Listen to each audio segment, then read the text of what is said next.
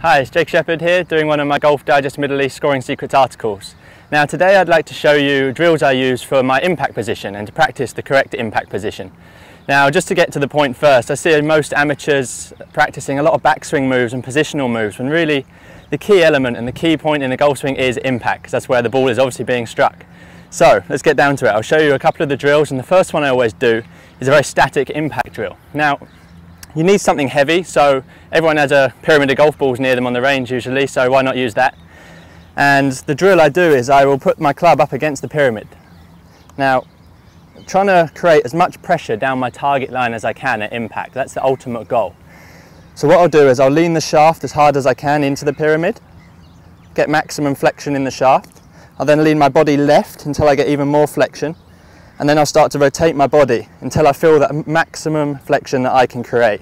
And that is my impact position.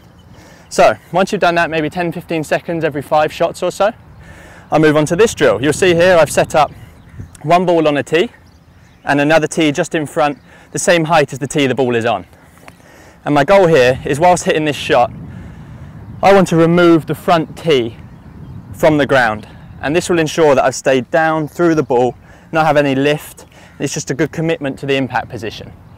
So let me show you that one. I'm just going to make sure I really stay down with this and take this front tee out of the turf in this shot. And I want maximum speed going through that tee. Okay, you'll see there the tee came flying out. That was a good shot.